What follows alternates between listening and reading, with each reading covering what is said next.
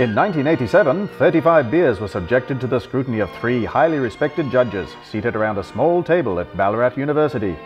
But look out, lads, those beers won't judge themselves. Over the next five years, another 342 beers were tasted and assessed before the RASV teamed with the university to create the Australian International Beer Awards.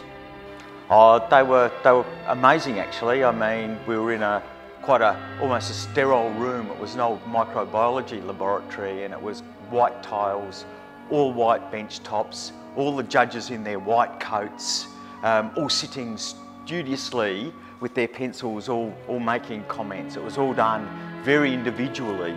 Uh, back then, as opposed to a little bit more uh, of a consensus as it's done these days.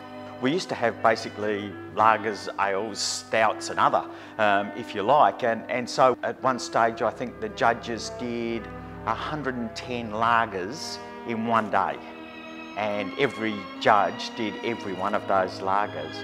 Today, the Australian International Beer Awards has grown to become the world's second largest competition and the world's largest annual celebration of brewing excellence, with over 2,000 entries received in 2017. Plenty has changed since 1993. Let's take a look at where some of our judges were back then. In 1993, I was a student doing an information technology degree and I had successfully graduated and became unemployed. I was literally a child back in 1993. I'd just finished school and I was planning to head overseas and discover beer. Funnily enough, I started home brewing in 1993 at university doing horticulture because it was cheap. 1993, I was traveling around Europe having a great old time in my V-Dub Combi called Arnie.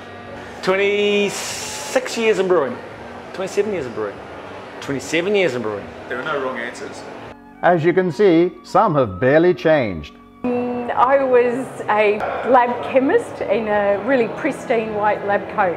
So, yeah, doing a lot of lab rat stuff. While others were still a few years away from getting their drinking license. 1993, I was in year five, I think.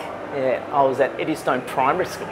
In 1993, I was just entering high school and discovering probably very quickly that I was uh, a little bit more into science than the rest of the uh, population. And at least one was drinking from a bottle already. 93. Uh, at, at one year of age, I was probably filling my nappies with uh, what you don't want to know about. The Australian International Beer Awards, celebrating 25 years of excellence. Here's to the next 25.